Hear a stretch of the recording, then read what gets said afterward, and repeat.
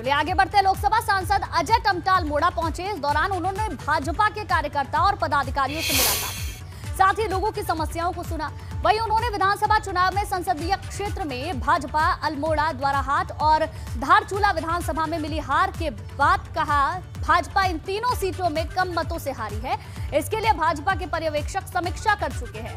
इसकी report Bhajpa high command को भेजी जा चुकी है और हार के कारणों की पड़ताल की जा रही है और नियमानुसार कार्यवाही भी की जाएगी। तो अल्मोड़ा सीट को लेकर के आपका आकलन है, हम तीन सीटों को बहुत कम वोटों से हार गए। ये तीनों सीटें हम जीत सकते थे। बट इसमें पार्टी ने एक समीक्षा करके नियुक्त किए हैं अधिकारी और उस समीक्षा हुई है। समीक्षा के अनुसार अगर जो भी हमको लगेगा कि किन क्या क्या कारण हमारे हारने में रहे हैं, उनको हम सुधार करेंगे।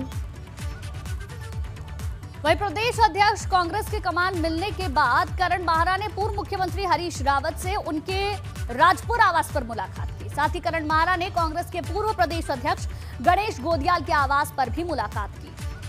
देखिए, मुलाकात के दौरान की ये तस्वीरें भी आपको दिखा रहे हैं। हरीश रावत इन तस्वीरों में आपको नज़र आएँगे। इसके साथ ही करण माहरा प्रदेश अध्यक्ष कांग्रेस की कमान उन्होंने संभाली है जिसके बाद पूर्व मुख्यमंत्री हरीश रावत से मुलाकात की है। हरीश रावत के राजपुर आवास पर ही यह मुलाकात हुई है। इसके साथ ही करण माहरा ने कांग्रेस के पूर्व प्रदेश अध्यक्ष गणेश गोदियाल के आवास पर भी उनसे मुलाकात की है। और देखिए, उस दौरान की ये दोनों तस्वीरें हम आपको दिखा रहे हैं जब हरीश रावत से मुलाकात करण माहरा ने की है। इसके साथ ही गणेश गोदियाल के आवास पर भी मुलाकात करने के लिए पहुँचे। उस दौरान की ये तस्वीरें भी आपकी टेलीविज़न स्क्रीन पर। तो चक्रोता के लोगों ने विधायक बना करके भेजा है। मैं विधायक के रूप में काम करूँगा विकल्प तो विकल्प है। लेकिन जब राष्ट्रीय संगठन महामंत्री पद पर